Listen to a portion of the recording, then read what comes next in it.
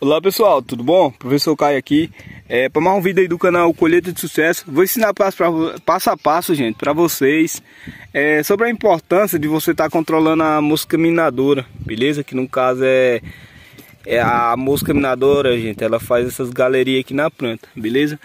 É, ela traz muita doença. Eu expliquei já nos vídeos anteriores, não sei se vocês viram, gente, na cultura da melancia aí. Eu vou estar tá mostrando para vocês hoje o motivo, beleza? Olha só, gente, tô aqui com dois produtos, daqui a pouco eu apresento para vocês, beleza? Olha só, gente, aqui ó, tá uma folha, certo? Olha só, essa galeria tá limpa, limpa. Eu vou botar na cama macro para facilitar, tá bom?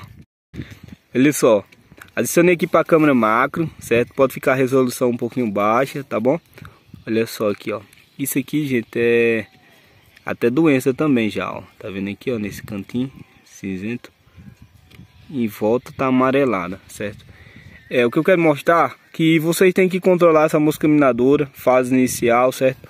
Conforme passa o tempo, ela solta bosta também aqui dentro, ó, tá bom? Mas o importante que eu quero mostrar é isso aqui, ó. Olha só, gente. Isso aqui, ó, ponto de atracnose. Tá vendo aqui, ó, bem aqui assim, ó. Isso aqui é ponto de atracnose, beleza? Como vocês podem ver, a mosca minadora, ela percorreu isso tudo, certo? E ela, gente, parece que ela ainda tá aqui, ó, nesse pontinho bem amarelinho aqui, ó tá bom? Nós vamos olhar daqui a pouco se é ela aqui. É, como vocês podem ver, ó, olha só, em cima da galeria, é, conforme caiu a chuva em cima, molhou, certo? Olha só o ponto da tracnose aqui, ó, começa a se arredondar, certo? Qual produto, Caio, eu tenho que estar tá utilizando aí para não acabar perdendo, já que tem muita mosca minadora na minha roça. Gente, eu sempre recomendo você trabalhar é, esse bactericida, beleza? Para não entrar bactéria também. Ele é um fungicida, só que ele é bactericida, tá bom? Que é o casumim, certo? Como vocês podem ver aí, gente, ó, fungicida e, bacter e bactericida de grupo químico antibiótico, certo? Tanto ele vai estar tá controlando a crescimento gomoso, como também, gente, essa dessas doenças sim, beleza? Olha só, aqui o Cercobin é um preventivo, gente, que sempre é bom utilizar, fase inicial para a cultura, tá bom? Ele vai prevenir de entrar tracnose, as coisas do tipo, beleza? Como eu já mostrei aqui, certo? Para você, ó, a resolução vai ficar até ruim, porque eu já tirei da cama macro, certo? E aqui, gente, é, igual eu falei, aqui é a mosca minadora. Eu vou mostrar ela agora para ser ela para vocês, beleza? Olha só, gente. É sim a mosca minadora, beleza? Olha só, vou mostrar ela bem de perto pra vocês verem. Olha só. A lava aqui, ó. Tá bom? Onde ela percorre a folha por completo, tá bom?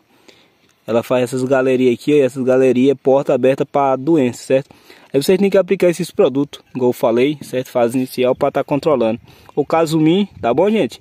É um vídeo em curso só para explicar mesmo, é, às vezes pode acaba aqui não te servindo, mas é bom você sempre ver até o final, gente, e aprender tudo, beleza? Porque isso aqui tem grande importância.